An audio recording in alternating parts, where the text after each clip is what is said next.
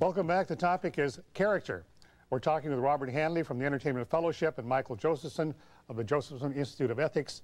And in a few minutes, we'll give you the phone numbers for both of these organizations. Uh, let's get out of the way quickly. We didn't answer the difference between character, religion, and values. There are different components. Well, values is the much broader term, which are all the things we believe in that motivate our behavior. That includes good values and bad values, practical ones and moral ones. Character is the assemblage of those good values that make us a person that we will judge as either being positive or negative or good or bad.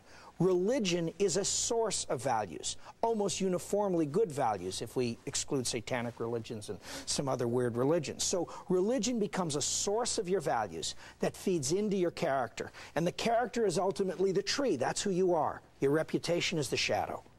Michael, I love it when you talk that way.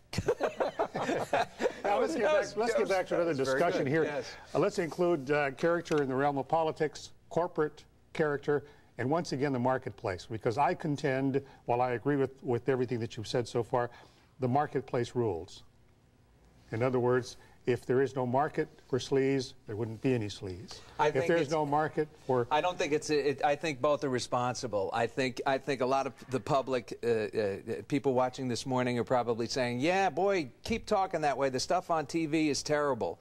Well, you you don't have to. Well, it's true. It's true. And, and I would suggest, lovingly and caringly, that you stop complaining to the person sitting next to you about the junk on TV and pick up a pencil and paper and say, "I don't like what that's that show is saying." I don't. I write Chevy or whoever the sponsor. so he sponsors are. validates what I'm talking about. Well, wait a minute. I'm not done. I think it's it's both.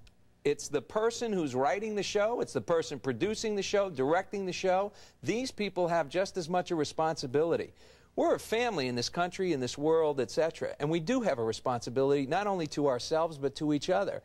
And if so, if we continue to put out uh, and be a part of shows that are espousing immoral uh, values, we are partly responsible for what people at home are watching on their TVs. And the Michael? people at home are just as responsible for going along with that. Senator Moynihan once talked about dumbing down deviancy, which means we take deviancy on the mm-hmm. air and we show it often enough and people think it's normal. You cannot use the excuse that you're catering to the market when you're also creating the market. It's true that if you ended up having a show that shows car accidents, I am sure you'd have a market. And if you did it well enough, you'd generate a bigger market. Don't do it. It's wrong, it's sleazy, and it's the ultimate definition of prostitution. I'm not interested in all these guys counting the points and counting their cars if what they're saying is, I don't care what impact I have in society as long as I'm rich. If I fed my kids that way, they'd eat nothing but Twinkies and Kool Aid. I make the market.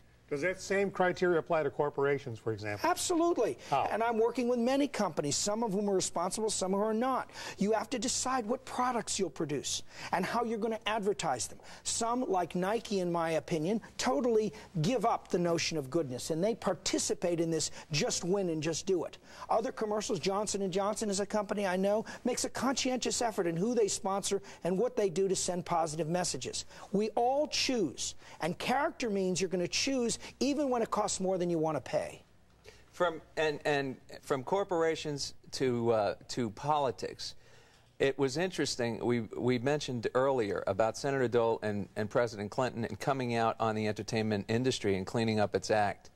It was interesting to me to note during the campaign of '96, uh, the presidential campaign, I looked at the commercials, the television campaign commercials, and whenever it was a Democratic commercial, there was President Clinton in living color, but Senator Dole was portrayed in black and white, often tapered with, obviously uh, edited in such a way that he looked bad. And Senator Dole did the same thing with President So Clinton. hit what's the point? Here's the hit- point. Here's the point. If you're going to come out on the on the uh, against the entertainment industry for what they're doing with this medium, as far as making poor choices, down to the final which minute. is dishonest, which I feel is not right, and when it's for your own advantage to become president of the United States, aren't you misleading the public Absolutely. by tampering with the commercial? So uh, the bottom line is, hey, you're better than that. It's up to the individual. If if if a politician's going to change politics, it's up to somebody in that party to say, I'm not going to do this anymore. And if you lose the election, you lose the election.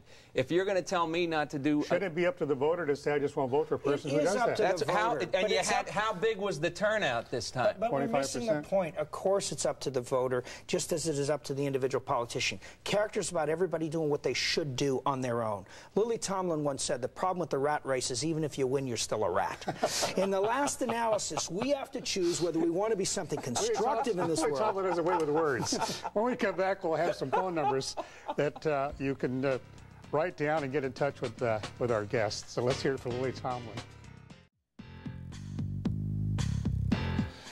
We've only got a minute left. I'll give each of you 30 seconds to uh, pass along the information where you are and what you do. Thank you, Bob. Uh, I guess you're starting with me. Yes.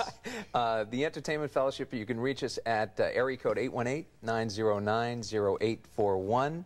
And again, we are a nonprofit grassroots organization. We're made up of people in the entertainment industry, actors, writers, directors, producers, and people who support our mission to enable people in the entertainment industry to recognize and apply Judeo-Christian principles into their careers. Thank you. Mr. Josephson? Thank you. Uh, Character Counts is one of the divisions of the Joseph Institute, which is also a nonprofit organization.